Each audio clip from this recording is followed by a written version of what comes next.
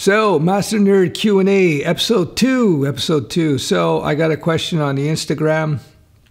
Interesting question, and it's about Python, it's about development, and it's about when to rewrite an app. So, I'm going to read some of his DM to me and we'll take it from there. There's something about dev in Python which just clicks for me. That's never happened before. I've used a lot of JavaScript, but never felt so confident that I could create something from scratch with it. But with Python, is it is different. Now, my question is pretty simple. If I feel that Python is something which I should use and, and I enjoy working with, should I just continue or make myself to learn PHP and continue working in the existing framework? When I sit down and think a bit about web dev, I don't know why I just I can't just do the work in JavaScript only, as it is the only language with, which lives in the browser. I hear you talking about PHP all the time, and I agree on some points. However, it is in a downtrend, we like it or not. But that's not really important now. For the thing I want to do right now, it's just a thought. My main job is not dependent on any technology mentioned here, but it is me who wants to develop new skills and start a side job in the future. In the first part of his email, he said to me, well, his DM, he said, I'm interested in hearing your opinion here. I am working as a software developer for the last five years.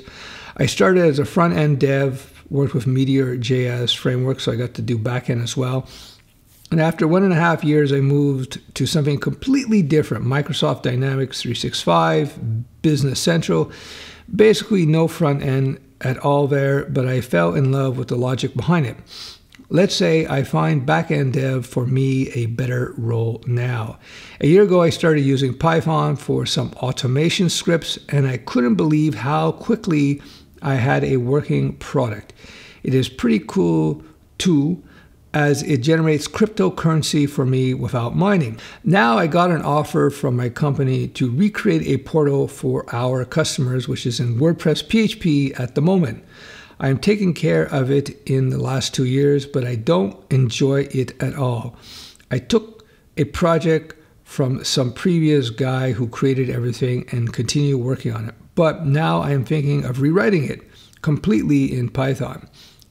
So, a couple of questions. Now, some people say PHP is in decline. On some lists, it shows in decline. In other lists, it's in the top three languages. Here's the thing about PHP it's not going to go away for the next 10, 15 years, if ever. Look at C, look at C, it isn't going away.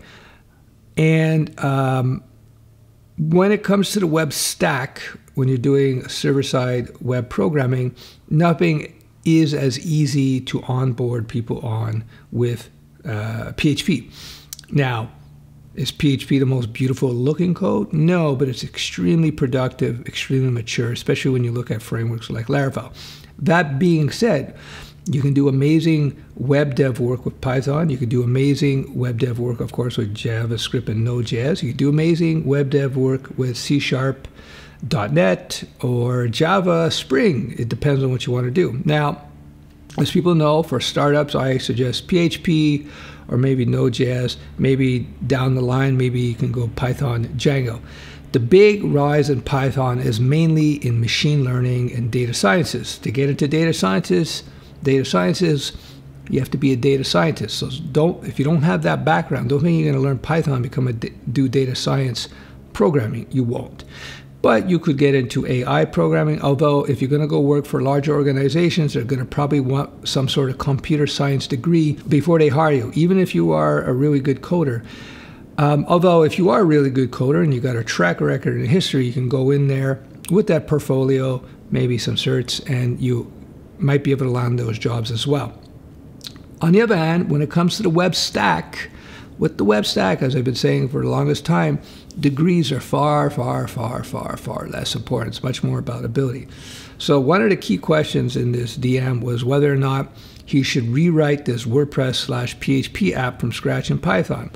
That is a big question because there's a few factors in it, but at the end of the day, it comes down to your assessment in terms of how much time is it going to take to rewrite it in Python versus just patching it and keeping it up to date with uh, PHP WordPress. So it's very project specific. You're going to look have to look look at the project. If it's a basic WordPress site with no extra functionality, no plugins implemented, you might be able to do it all in uh, Python. Create your own uh, content management system in Python. Um, I hardly suggest that you don't. One of the big rules, the top three rules in programming is reuse, reuse, reuse. Don't rewrite something that's already there unless there is a significant reason to do so. So, for example, with Studio Web, we uh, wrote the app from scratch because there was nothing there was nothing out there that came close to what we needed. It's a very unique uh, web app. It's very, very different from anything else. And to even build it off of another platform wasn't something I was going to do. There was something at the time called Moodle, which we implemented at first.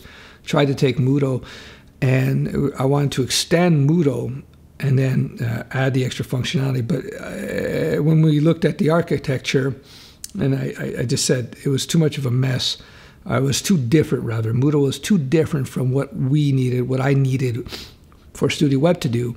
So I decided to build it from scratch. The last thing I want to do when I approach a web uh, a development job, whatever type of development, is to rebuild from scratch. The major players in the world will not do that. The major games in out there, they'll use a gaming engine, but they'll license from somebody. They're not going to write a new gaming engine uh, to build their game. They're going to use some established engine most of the time. Very rare that people write everything from scratch.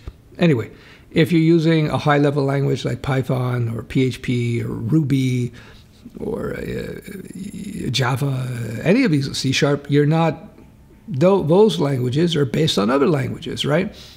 Uh, Ruby is uh, C, a C language. It's based on C or C++, forget which one, you know, PHP as well. So get it out of your head, the illusion that you're going to be writing from scratch. I'm going to do from scratch because it's better. No, it's not. It's actually not better. And you're not writing from scratch. Unless you're writing machine language, uh, you're not writing from scratch. When trying to decide whether or not you want to uh, rewrite from scratch or or patch up an old app, that's a hard thing. You got to really look at it and it's a judgment call. I've done it twice, but I can remember off the top of my head in my career where I looked at a code base. I said, you know what? For what they want to do, this code base is just not compatible. Sometimes the lack of compatibility because the technology is too old in the original code base, or because maybe there was like five, ten programmers on it over the years and it's become just a mess. At some point, software has to be rewritten iOS. They did it with not our they, they did it with Mac OS. Mac OS 10 was a total rewrite from scratch. They they basically scrapped the old code base and rebuilt Mac OS on top of FreeBSD, which is a flavor of Unix, and Windows as well. At one point, they had to uh, start from scratch with Windows and rebuild. I believe the current set of win- current Windows is based on the E the NT version of Windows rather than the 95 branch, as far as I remember. So, yes, at some point you will have to do a rewrite.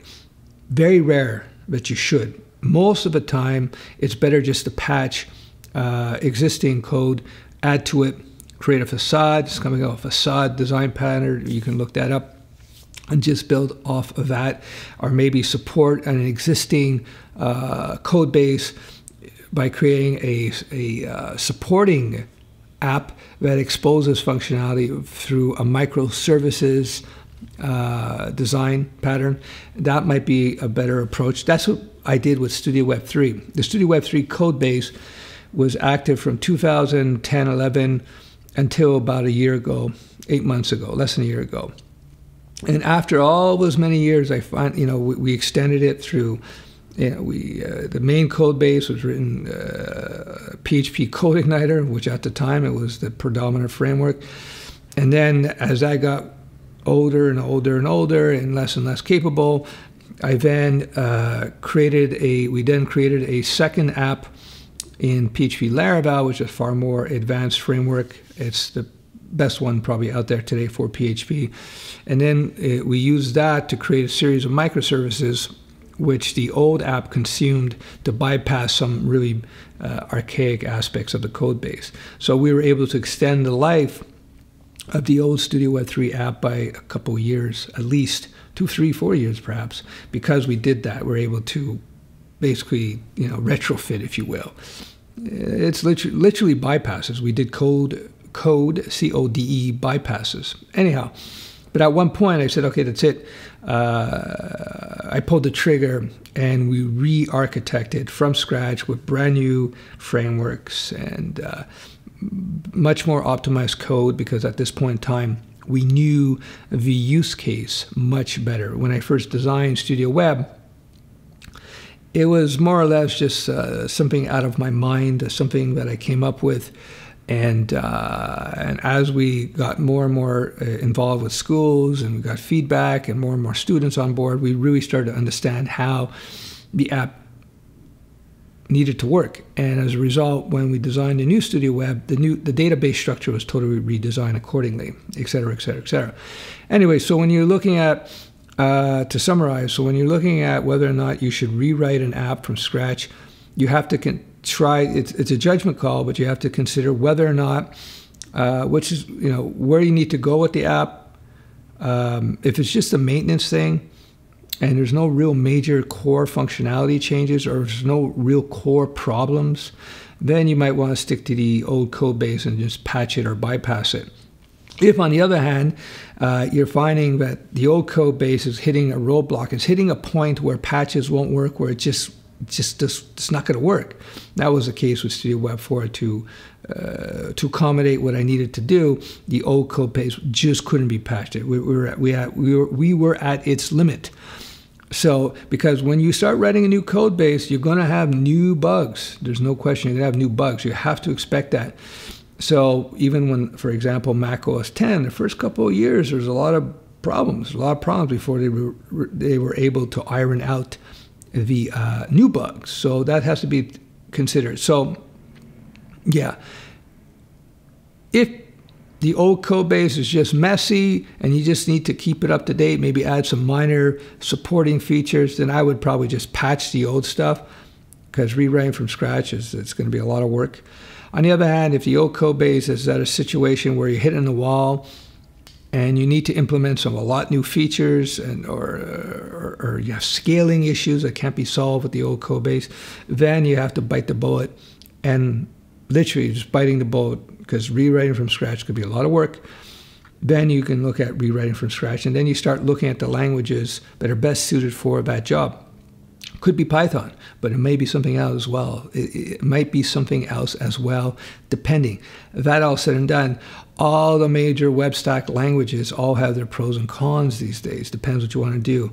Uh, Java, is not something I would use for new and uh, new projects or startup startups because of the licensing deal that Oracle has implemented and because it's a verbose language, it takes a long time to get something done. On the other hand, if you have a Java infrastructure and you just want to create a supporting application, then it makes sense to do it in Java. Uh, yada, yada, yada, yada. So there you go. I hope that answers that question the end of the day, it's a judgment call, but I hope I gave you at least some guidelines in terms of how to think about it. This is what I have used in the past. It's worked for me. I, I, I can remember two projects off the top of my head. You know, I've been doing this for 800,000 years, so I'm sure I've had to do this kind of stuff, and I just don't remember off the top of my head. All right, that's it for today's uh, Q&A.